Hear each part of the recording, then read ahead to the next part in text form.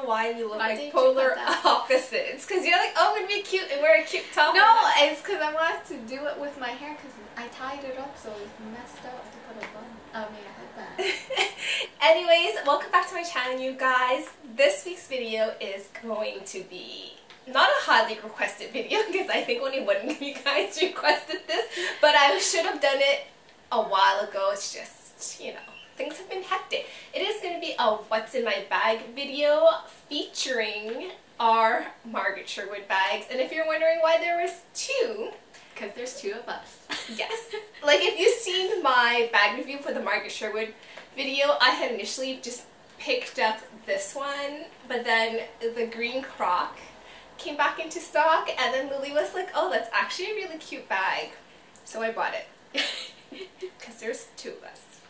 And I figured we can swap and honestly, seeing it in person, the green croc, the mock forest green croc is so gorgeous. Like my mom was like, oh, both bags are cute, but this one is much more prettier. You guys get to have a double what's in my bag video. This bag has been one of the bags I've been using pretty much ever since I've gotten it and it is one of the most kind of complimented bags we have for some reason. It's a very simple, classic, streamlined bag, but honestly, just the subtle details, like I have the mock lizard version and Lily has the mock crocodile version and they're very eye-catching. Like there's enough detail to kind of pop it. A little bit of a wear and tear update.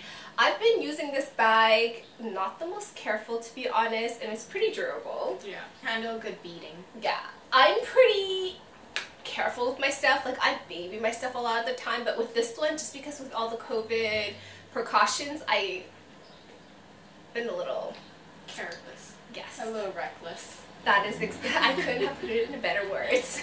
But yes, so let's just get into what is in our bags because honestly this bag looks small but it honestly holds quite a bit. So I'm going to go first. Uh, this is what I typically carry in my bag. So once you pop it open, I have a mask, uh, which is a staple now and half the time I forget about it because I'm just usually picking up and dropping off Lily.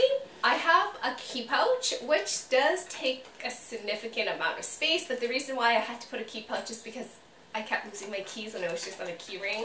I have my car keys. I have my iPhone 6. Yes, it's super old, but if you guys are curious, an iPhone 11. I don't even know what phone this is, but this is my work phone and it's significantly bigger than my iPhone 6. I'm pretty sure it's an iPhone 11.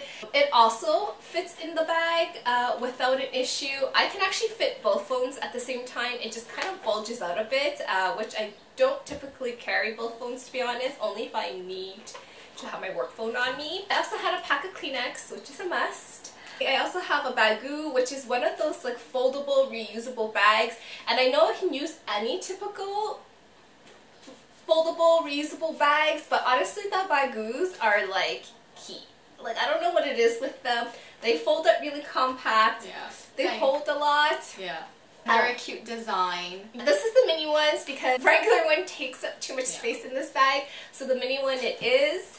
I also have hand sanitizer. Um, I have it in a Ziploc just because I'm worried it's going to explode. But honestly, this is a bit bulky. I have another more kind of like smaller size one, but this one was because I just was transferring from a bigger container um, into this one.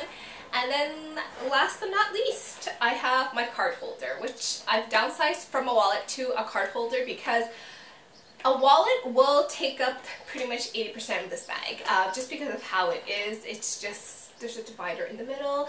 So that is pretty much what is in my bag. So you can see now what is in Lily's bag. So in my bag, it's not as like intense as hers because uh, I let her carry the essential stuff like the house keys. yes. so I don't have that.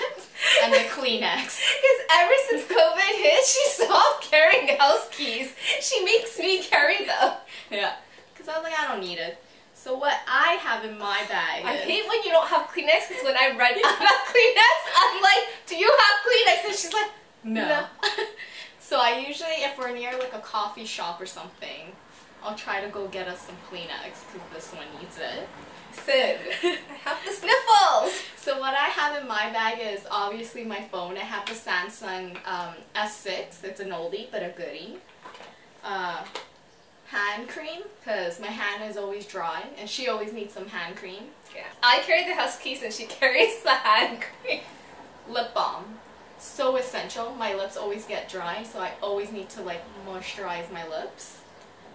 Um, sometimes I'll carry like a little snack because one of us sometimes need a little pick-me-up.